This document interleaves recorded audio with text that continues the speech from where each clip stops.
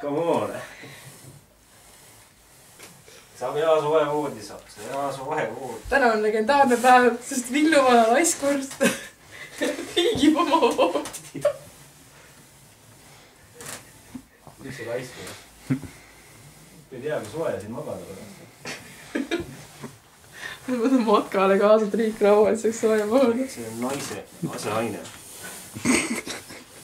teise ainult ühele poolele. miks ühele? ühele teisele poole oled sa ise ju, palav hakkab. mulle jäi lihtsalt juhtumisi jäi näppu. kuidas sa niimoodi nägid? voodi lina oli natuke heledam, siis näeb peaaegu välja näha. näe, mis meil siin on? edukas kirputõrje koosneb kolmest omavahel seotud osast.